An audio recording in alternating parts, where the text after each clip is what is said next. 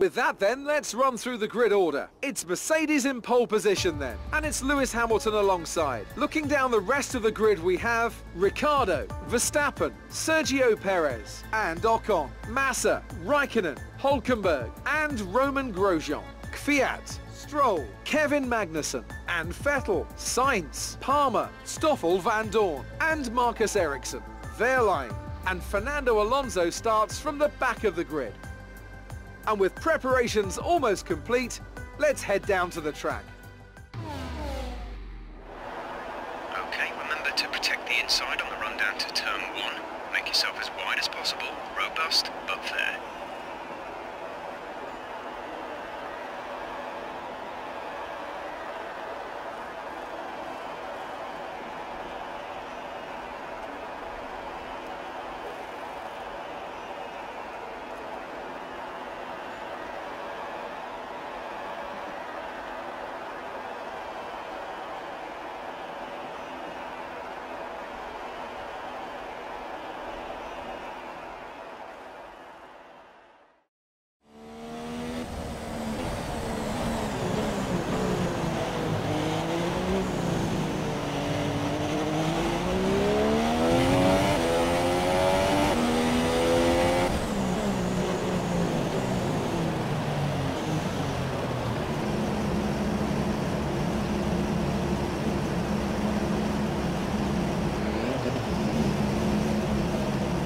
Keep an eye on the lights. The start sequence will begin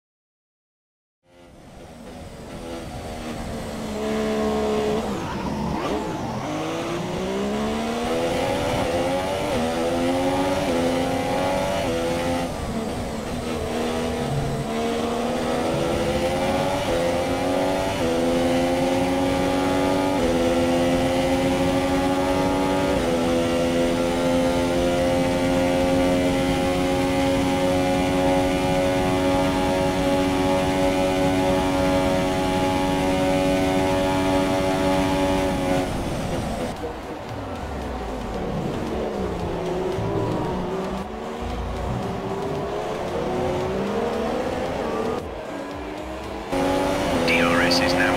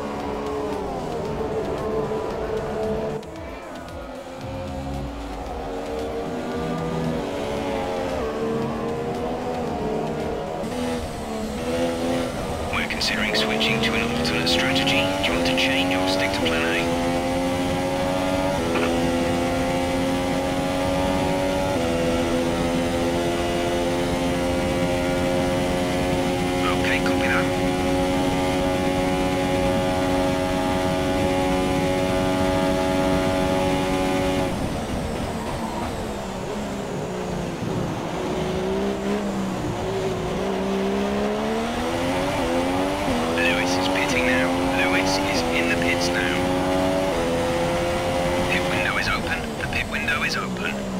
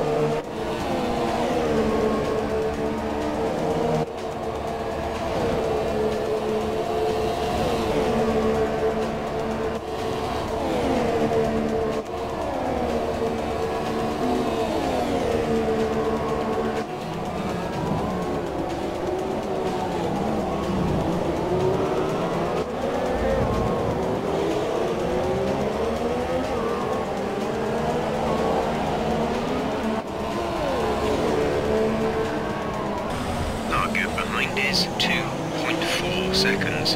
Okay, the safety car is out. The safety car is out. We need to form up at a reduced pace. Keep a close eye on that delta time. Make sure to keep it positive.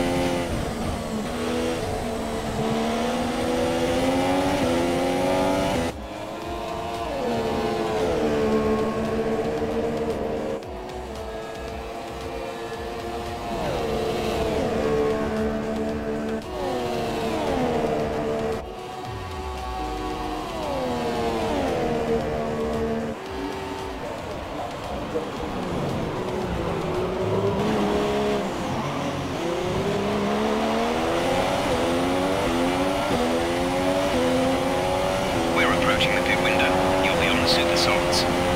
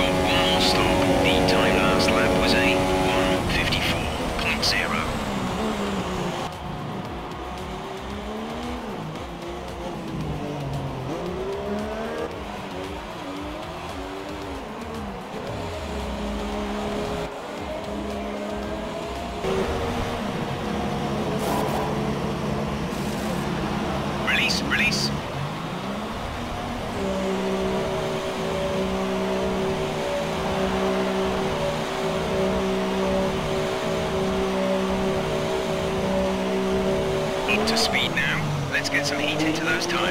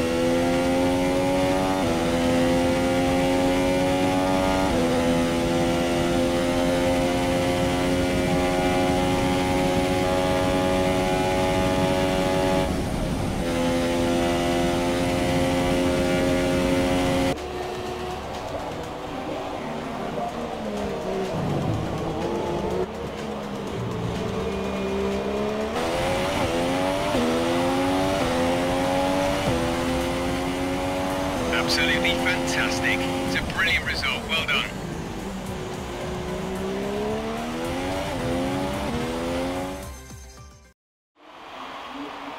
A great win then for the Mercedes team today. And I have to wonder, Anthony Davidson, just what set them apart from the competition here. I feel like consistency was probably the key today. There's being quick, and then there's being quick lap after lap after lap. If you can do that, you can capitalise on other people's errors without making many of your own. And that's an approach that can push you a long way up the field. So as I say that, we can see the drivers coming out now to collect their trophies. It's yet more silverware to take back to their base in Brackley after another excellent Grand Prix.